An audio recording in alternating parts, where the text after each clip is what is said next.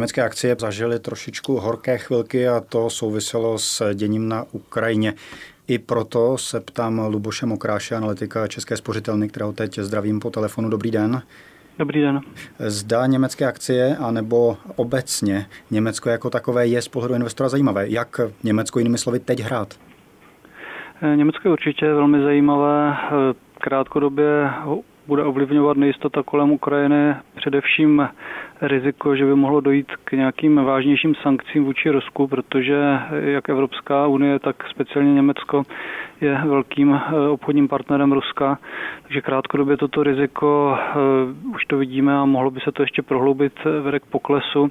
Podle mého názoru by se ta situace měla eh, vyřešit nějak relativně rozumně. To znamená, nemyslím si, že by mělo dojít k nějakým vážným ekonomickým škodám, proto si myslím, že ta současná situace je eh, nebo ještě může být dobrou nákupní příležitostí.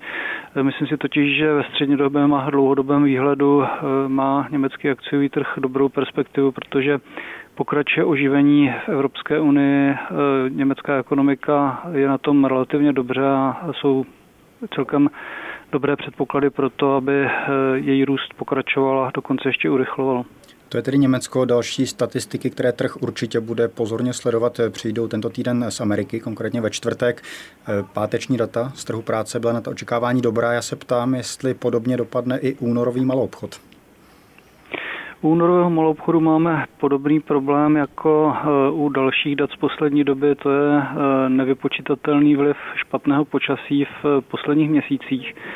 Už myslím si, že pravděpodobnost, že by se nějak výrazně to špatné počasí projevilo na těch posledních datech o malou obchodu je poměrně malá, protože už ty předchozí hodnoty byly relativně sníženy nepřízní počasí, takže bych viděl spíš pravděpodobnost, že by mohly eh, Spojené státy v tomhle směru překvapit pozitivně a že by to číslo eh, mohlo potvrdit, že eh, to drobné zakolísání kvůli počasí, kterého jsme byli svědkem, bylo dočasné a že v dalších měsících uvidíme solidní růst.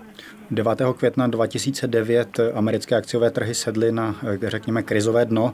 Od té doby rostou. Dow Jones Industrial Average si například připsal 151%.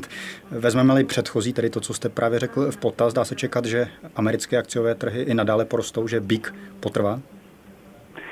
Eh, určitě je nejdůležitější se podívat na eh, valuace společností a eh, v souvislosti s tím na to, jaký očekáváme vývoj ekonomiky. Já jsem relativní optimista a myslím si, že by Spojené státy v příštích několika letech mohly růst velmi slušně, že by už konečně se mohli dostat z toho takzvaného nového normálu a pomalu se vracet k tempům růstu, které jsme viděli před rokem 2008. K tomu, co jste říkal o indexu Dow Jones, máte pravdu, že od toho dna Eh, narostlo 151%. To ovšem byla situace, kdy eh, akcie započítávaly extrémně negativní scénáře. Když to vezmeme z té trošku optimističtější perspektivy, tak eh, v říjnu 2010, pokud bereme tehdejší maximum, tak index narostl o něco více než 16%. Takže pokud jsme se na to dívali z tohoto hlediska, tak ten růst těch posledních zhruba sedm let nebyl zase tak dramatický.